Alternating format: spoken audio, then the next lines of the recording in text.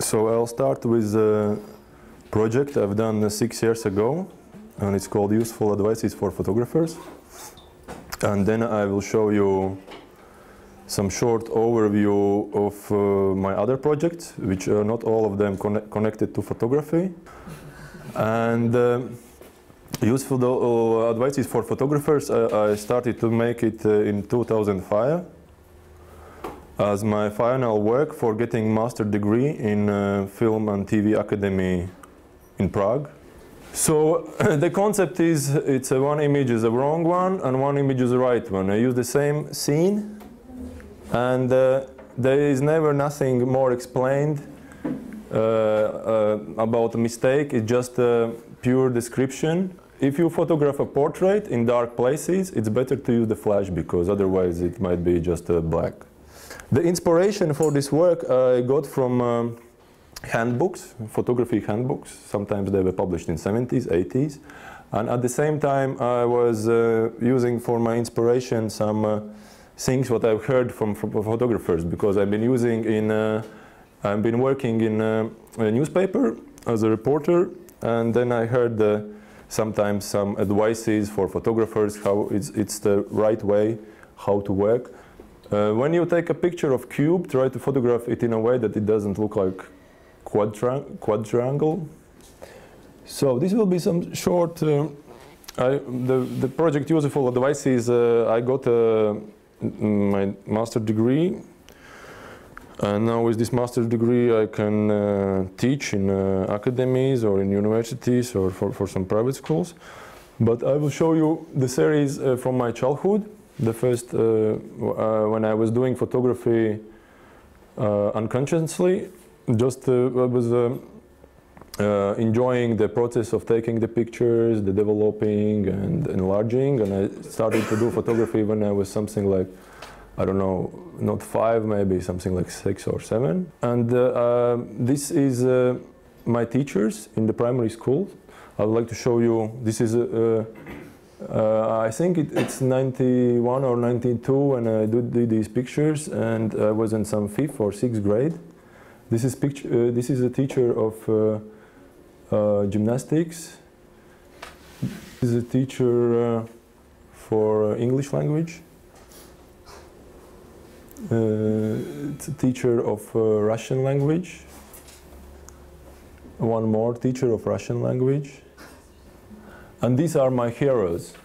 It's uh, in 90s uh, I was really amazed by Sylvester Stallone and uh, Arnold Schwarzenegger. So uh, uh, Rocky one, Rocky two, uh, how was Sketch and something I don't remember, and Terminator and Commando. I was like really there were these little rooms in the cellars with the TV and very bad copies showing on VHS. So I was really these are my heroes.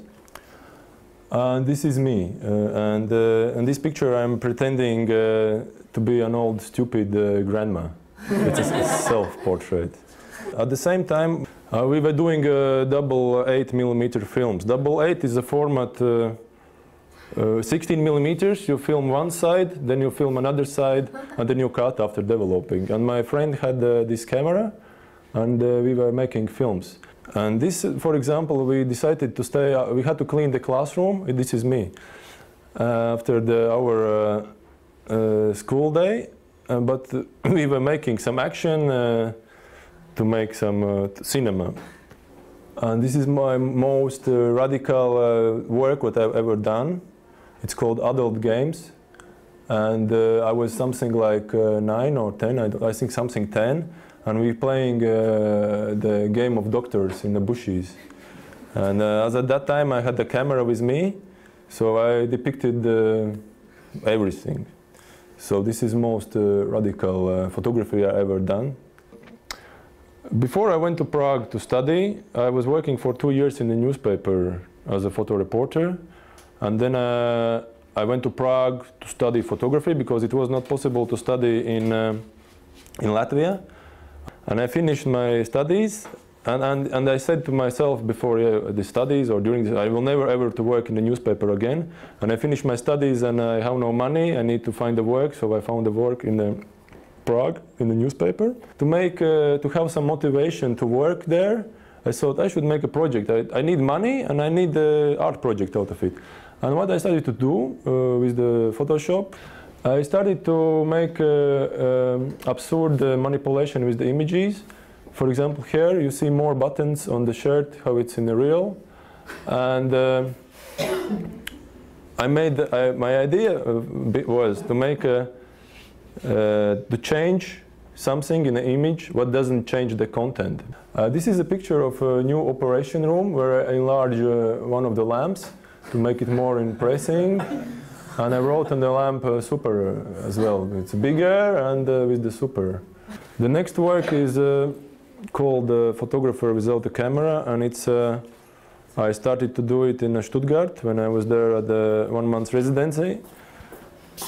And uh, the original idea was to come to the stores where they sell uh, photo cameras like MediaMarkt or Saturn and that I put inside my SD card and I take a picture with these cameras. So after some time I decided that um, I should change a bit my concept and I opened the packages of SD cards inside the shop and I loaded the, in, inside the cameras these SD cards and left. And after some few days I came back just to collect these uh, cards. And so at the end I was collecting the images uh, of some other people came to test the camera. What is interesting for me in this case, when people are coming uh, to take the, uh, to take, they don't come to take pictures, they come to test the camera. So in the moment when you uh, test the camera, you, you almost never think about image. And next, I think the last one, uh, it's called Super. I was invited this uh, last, already last year in September to participate in uh, one art festival. It's called Survival Kit. Some curator invited me and one French artist and uh, she asked me to make an intervention. And this subcategory was called superstructure. And I, always, usually work very direct, simple way. So if it's called uh, the concept of this uh, uh, little part from this event, uh, this art festival is superstructure, so I thought, okay, and it's an intervention. So I make uh, stickers with super, different types, and I left them at the entrance of the festival, at the info table. So people can come, take the stickers, and glue next to the artworks uh, which they like so in fact, I destroyed uh, all the, well, uh, kind of changed the meaning of many works.